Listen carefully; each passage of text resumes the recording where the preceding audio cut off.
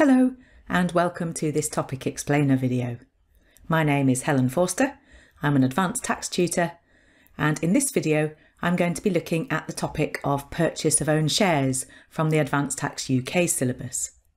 What I want to do is to look at how this might be tested in the exam, the kind of scenarios that it might feature in, to give you a bit of an overview and an understanding of the topic and I will look at a couple of examples to help you to understand how things work, and I can also point you towards further resources that you might find useful. First of all, how does this area get tested in the Advanced Tax exam? Well, it's not a subject that is tested in every exam, but we have seen a few questions in recent years. I've just picked out some of the ones here that have been released by the ACCA. We had a Section A question in 2022, and then we had a couple of Section B questions, one in 2017, one in 2016. However, you do need to remember that not all of the questions from the real exams are released by the ACCA, so it could have featured in more questions. And also, there is no choice in the exam. So if this topic does come up, then it's a good idea for you to have a bit of an understanding of how it works so that you can attempt those questions and there will be some nice easy marks available for basic computations, even if you're not 100% sure of all of the detailed rules on this area. In terms of a scenario, purchase of own shares is simply where a shareholder sells their shares back to the company that they hold those shares in. Now, this is something that does require Legal considerations. Usually a shareholder can't simply choose to sell their shares back to the company, but it is possible in certain situations. And as far as you're concerned, you just need to know the tax treatment when this happens. And I think it's easier to get your head around this if we draw ourselves a diagram and think about the kind of scenario that it might appear in. Let's imagine then that we have a family company Mum owns most of the shares. Mum has 90% of the shares. Son has 5%, and her daughter has 5% as well. It's a successful company. Mum wants to retire and sell her shares, which are now worth a million pounds. Think about the options that we might have here then. Most obviously, Mum could simply sell her shares to an outsider, which is a possibility. However, the problem with that is that she would then lose control, the family would lose control of the family company. Plus, it might be quite hard to find a buyer if this is a small unquoted company. Another option would be to sell the shares to the son or the daughter or both. Now remember that if mum wants to retire and all of her wealth is built up in that company, then she will need the money for her retirement. She could just give the shares to the son and the daughter, but that's not going to achieve her objective here. Now, this is a great possibility. That would then leave the shares in the hands of the two children. The issue there is mum comes to you and says, Will you buy my shares for a million pounds? The chances are the son and the daughter don't have the cash to do that. Nice idea, but unfortunately that's not going to work either. So this is where our purchase of own shares comes in. The other option is that mum could sell her shares back to the company.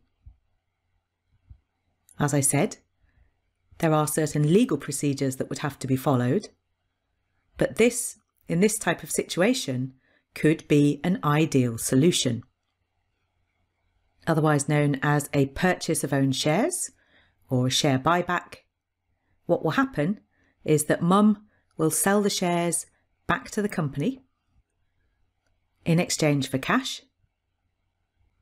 Mum then will have the cash for her retirement. The company will, of course, be worth less than before, having paid all the cash out to mum, but it's still a family company. And if the son and the daughter previously owned equal shareholdings. If mum sells all of the shares back, they will then own 50% each. Mum might decide to keep some shares just so that she has a little bit of an influence. The issue that we're going to be concerned with is how do we treat this from a tax point of view? And there are actually two possible tax treatments here. Think about the scenario. Mum has just sold her shares, let's say for a million pounds. And the most obvious tax treatment for mum is that that is going to be a sale of shares, which will lead to capital gains tax. Nice and straightforwards. We take the proceeds less the cost. Think about possible reliefs. We've got the annual exemption maybe, and then the rate of tax is going to depend on whether or not we get business asset disposal relief, and also, if not, the level of mum's income.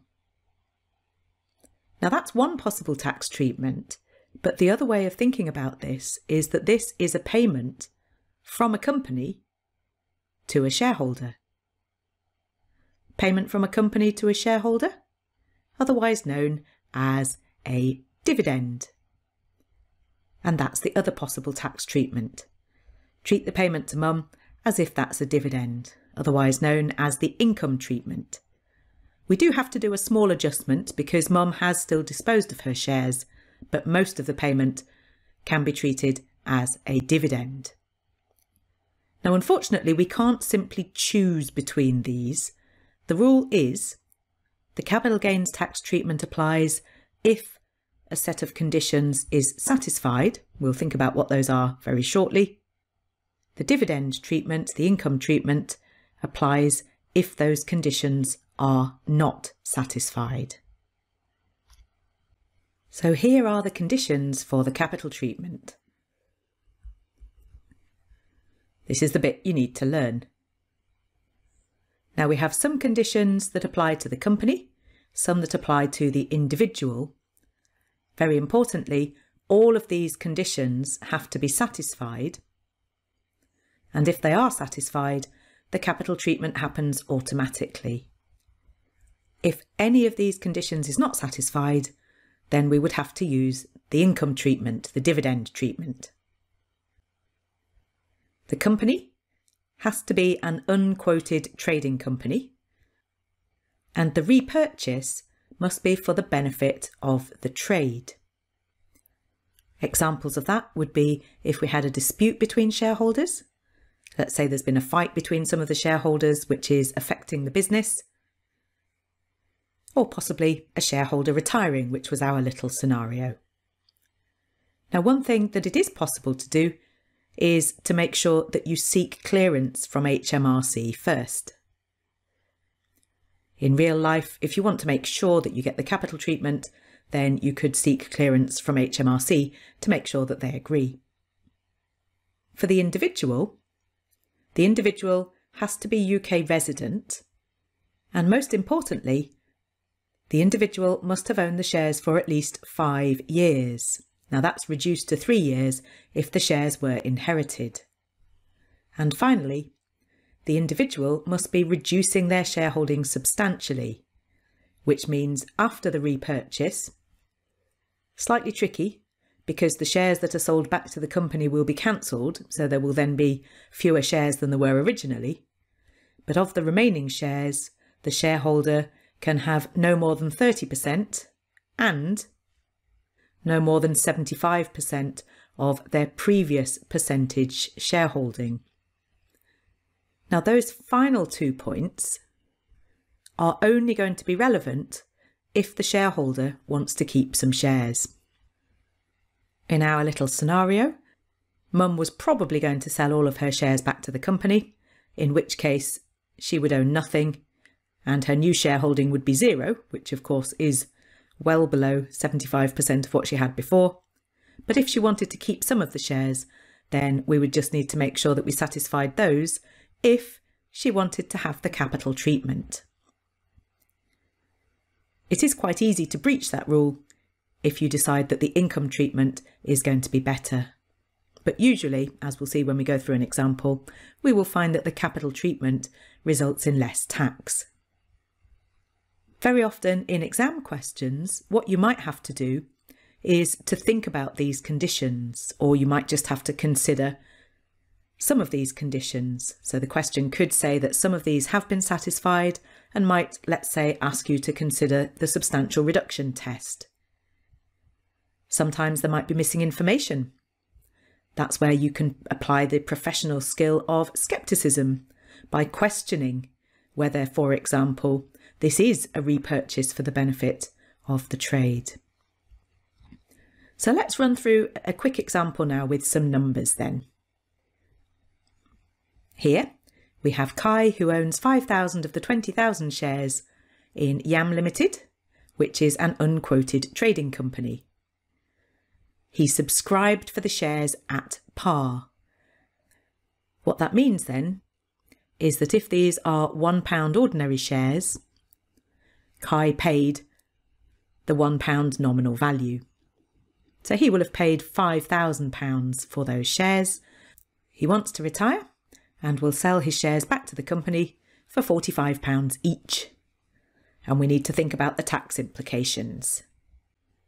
Before we start with the calculations, let's think about those conditions.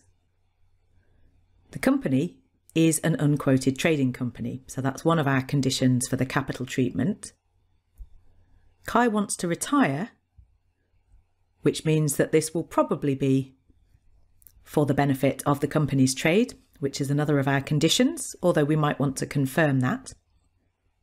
We know that Kai has owned his shares since 2015, greater than five years. That's another one of our conditions. And presumably, he is going to be selling all of his shares. It just says sell his shares. If that is all, then that would be a substantial reduction. He will have zero shares afterwards. The only condition that we're not sure about, if we look back at those conditions, we've got the unquoted trading company, repurchase for the benefit of the trade, we've got the five years, we've got the substantial reduction. We don't know anything about Kai's residence situation, so that is something that we might need to query. Is Kai UK resident? If he is, then it looks like we're going to get the capital treatment.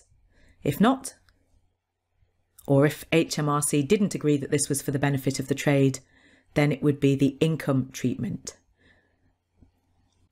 I've just drawn a little diagram of the scenario. Kai is selling 5,000 shares back to Yam Limited in exchange for cash of £45 each. He will receive then a total of £225,000. If we use the capital treatment, that will be capital gains tax, and it's going to be a nice, simple, chargeable gain. Proceeds less cost. Proceeds 225. Kai subscribed for his shares at par. That means the cost we said was £1 per share, and that gives him a £220,000 gain. How we tax that gain depends on his personal tax situation. The details in this one are slightly vague, so if you're doing one in the exam, you need to look out for things like has he made any other gains? That will determine whether or not the annual exempt amount is available. Then we need to calculate the tax on that gain. And in this question, we know that Kai has owned the shares since 2015 and has also been a full-time director, which should be a clue to think about business asset disposal relief. This is one of your key capital gains tax reliefs, and for business asset disposal relief on shares, we need a shareholding of at least 5%. Kai had 5,000 shares of the total of 20,000 shares, which is 25%. He has been an employee he became a full-time director when he subscribed for the shares. He's done both of those things for at least two years, since 2015, which means that he will only have to pay capital gains tax at 10%. These are the sorts of things that you might have to refer to in an exam question. They might ask you to explain any reliefs available, as well as those conditions for the capital treatment. And if you are explaining reliefs available, make sure that you state the conditions for the relief, but also show that you've applied those to the question by referring to the information from the question. If the conditions for the capital treatment are not satisfied, then we're going to use the income treatment. With the income treatment, we're going to treat the proceeds as a dividend. Now, we can't treat the whole of the proceeds as a dividend because Kai has actually disposed of his shares. He won't own those anymore. So what we do is we split that figure. The CGT proceeds are deemed to be the original subscription price, which in our case was £5,000. And because Kai was the original subscriber, that's what he paid as well. Which means there won't actually be any gain. Sometimes you could end up there with a capital loss if the shareholder purchased their shares for more than the original subscription price, but here we've just got zero gain. And then the balance of the proceeds will be treated as a dividend. That gives us £220,000 dividend, and that's going to be subject to income tax at the dividend rates. We could have the dividend nil rate band, depending on whether or not Kai has any other dividends, and then the rate of tax will depend on other income, but with an amount of 220,000, at least part of that is going to be at the additional rate of tax for dividends, some at the higher rate for dividends if Kai hasn't already used the higher rate band. Which means that compared to the tax on the gain, there is going to be significantly more tax due here. Capital gains tax is going to be at 10% because Kai will qualify for business asset disposal relief. Which means that we can fairly safely say that the capital treatment is better. Let's think about a slight variation on that example then. Same scenario to start with that we've just looked at, but this time the question is, what is the minimum number of shares that Kai must sell back to Yam Limited if he wants to use the capital treatment? Going back to our conditions, remember that we need a substantial reduction. After the repurchase, the shareholder can have no more than 30% of the remaining shares and no more than 75% of the previous percentage share. And this is not quite as straightforward as it seems because the shares that are repurchased will be cancelled. So I want to show you how you can easily work this out. Kai currently has 5,000 shares. There are a total of 20,000 shares in that company, and we want to find the minimum to get the capital gains tax treatment. The condition is that Kai must end up with no more than 30% of the total shares after the buyback, remembering that the ones that Kai sells will be cancelled, and also no more than 75% of his previous percentage share. And again, that will be based on the shares after the buyback. Now we know that currently Kai has 5,000 shares from 20,000, which is 25%.